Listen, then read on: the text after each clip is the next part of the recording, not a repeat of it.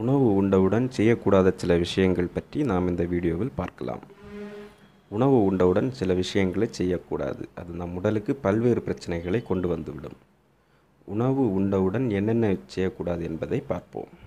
செரிமானம் நாம் சாப்பிட்ட பிறகு தொடங்கும் செயல் அல்ல. ஒரு உணவை பார்க்கும்போதோ அதன் வாசனையை உணரும் போதோ பிடித்த உணவை பற்றி நினைத்தவுடனோ நாம் வாயில் உமிழ்நீர் சுரக்கும் போதே ஆரம்பித்து விடுகிறது.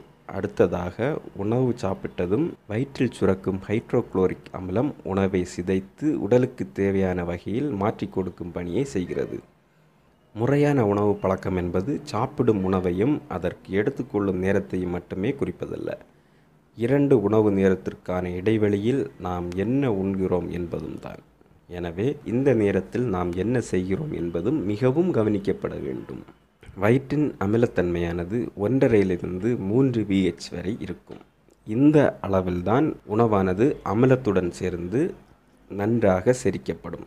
ஆனால் சாப்பிட்டவுடன் தண்ணீர் குடித்தால் வயிற்றில் செரிமானத்திற்கு தயாராக இருக்கும் ஹைட்ரோக்ளோரிக் அமிலத்தை நீக்க செய்துவிடும். இதனால் வயிற்றில் செரிமான கோளாறுகள் ஏற்படுவதற்கான வாய்ப்புகள் அதிகரிக்கும்.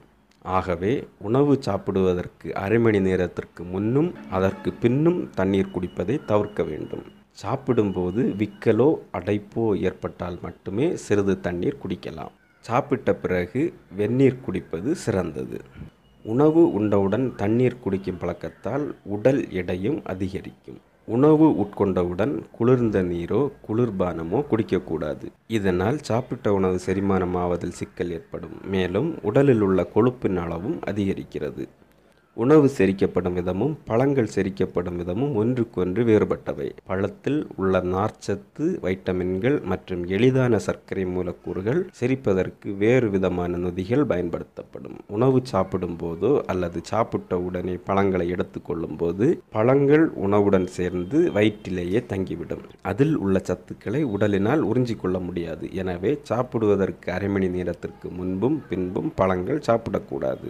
சர்க்கரை நோயாளிகள் சாப்பிட்டவுடன் பழங்களை எடுத்துக்கொண்டால் உணவில் உள்ள கார்போஹைட்ரேட்டுடன் பழத்தில் உள்ள சர்க்கரையும் சேர்ந்து சர்க்கரையின் அளவை அதிகரித்துவிடும். இவர்கள் சாப்பிடுவதற்கு ஒரு மணி நேரத்திற்கு முன்னரும் சாப்பிட்ட பின் இரண்டு மணி நேரம் கழித்தும் பழங்களை எடுத்துக்கொள்ள வேண்டும். சாப்பிட்டவுடன் ஒரு கப் டீ அல்லது காஃபி குடிப்பது நிறைய பேருக்கு பிடித்த விஷயம். டீ மற்றும் காஃபியில் உள்ள டானின் காஃபைன் போன்ற பொருட்கள் நரம்பு மண்டலத்தை தூண்டிவிடுவதால் ஏற்படும் புத்துணர்ச்சி தான் இதற்கு காரணம். ஆனால் சாப்பிட்டவுடன் டீ குடிக்கும்போது டீயானது உணவில் உள்ள புரத மூலக்கூறுகளை கடினமாக்கி அதை செரிமானம் அடைய விடாமல் செய்துவிடும். இதில் உள்ள பேலிஃபினால் டானின் போன்ற வேதிப்பொருட்கள் இரும்பு சத்துடன் சேர்வதால் உடலால் இரும்பு சத்தை கிரகிக்க முடியாது. இதனால் இரத்த சோகை வருவதற்கான வாய்ப்புகளும் அதிகம். சாப்பிடுவதற்கும் டீ குடிப்பதற்கும் குறைந்தது ஒரு மணி நேரமாவது இடைவேளை இருக்க வேண்டும். காலையில் வெந்நீரில் குளித்தவுடன் சாப்பிடும் பழக்கமும் சாப்பிட்டு விட்டு குளிக்கும் பழக்கமும் சிலருக்கு உண்டு. இவை இரண்டுமே தவறானவை. உணவு சரியாக செரிமானமாக சாப்பிட்டதும் இரத்த ஓட்டமானது நமது வயிற்று பகுதிக்கு தான் செல்ல வேண்டும்.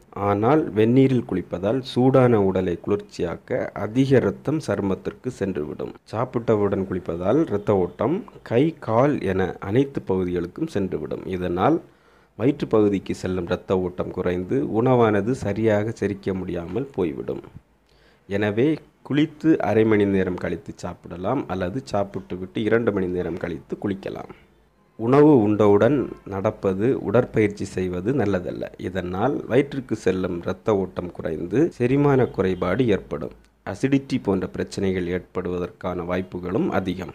உணவு உண்டபின் அரை மணி நேரம் கழித்து பத்து நிமிடங்கள் மெதுவாக நடப்பது நல்லது. உடற்பயிற்சி செய்பவர்கள் உணவுக்கு ஒரு மணி நேரத்திற்கு முன்போ உணவு உண்டபின் இரண்டு மணி நேரத்திற்கு பின்போ உடற்பயிற்சி செய்யலாம்.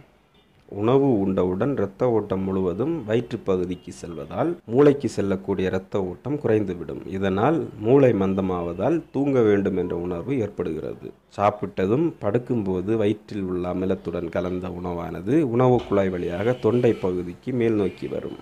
உணவின் அமிலத்தன்மையால் உணவு குழாய் அரிக்கப்பட்டு நெஞ்செரிச்சல் போன்ற பிரச்சனைகள் ஏற்படும். மேலும் நாம் படுக்கும்போது வயிற்றில் உள்ள உணவானது உதரவிதானம் பகுதியில் அதிகப்படியான அழுத்தத்தை ஏற்படுத்துவதால் குரட்டை பிரச்சனை ஏற்படுவதோடு தூக்கமின்மையும் வரும். எனவே சாப்பிட்டதும் குறைந்தது இரண்டு மணி நேரம் கழித்து தான் தூங்கச் செல்ல வேண்டும்.